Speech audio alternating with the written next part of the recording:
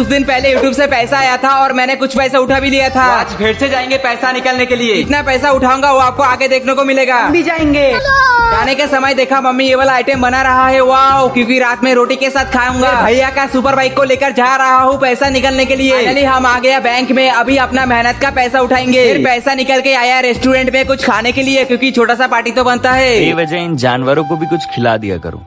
ये कभी मांगते नहीं है। फिर घर आके मम्मी को सारे पैसा दे दिया। बट मेरी मेहनत का फल देख के मम्मी ने बहुत खुश हो गया। यहाँ पे टोटल तीन हज़ार पैसा है।